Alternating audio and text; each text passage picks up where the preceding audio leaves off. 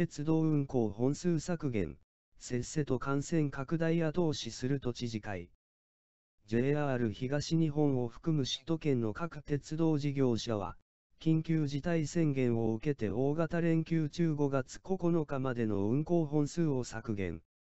平日である4月30日、5月6日7日も朝のラッシュ時間帯を減便していた。しかし連休明けとなった5月6日、間引き運転によって主要駅では通勤、通学で混雑する事態となったのだ。間引き運転したことにより乗車率が膨れ上がったのだ。こんなことは小学生でもわかる。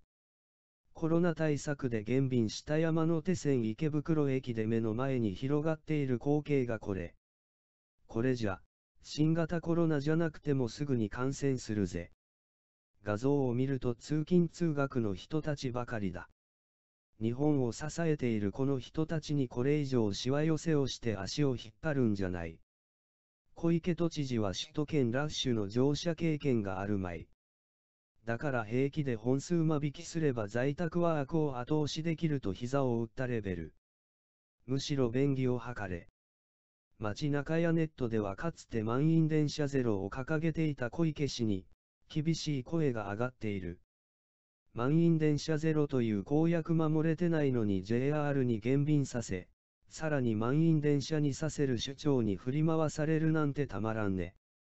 小池さん、自身が掲げた満員電車ゼロすら達成できてないのに、鉄道会社に間引きを要請して、逆に激込みさせる愚策。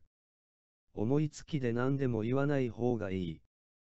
指し示した行政も、聞き入れた現場の西武鉄道以外の JR 他鉄道会社も、お上のお達しだからと俺たちの責任じゃないよ、と白々しい。それだけに、小池都知事のパフォーマンス狙いだけの行政に付き合わせられるのに辟易する都民なのだ。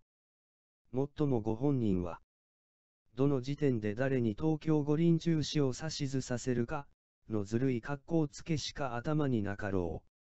お聞きいただき感謝申し上げます。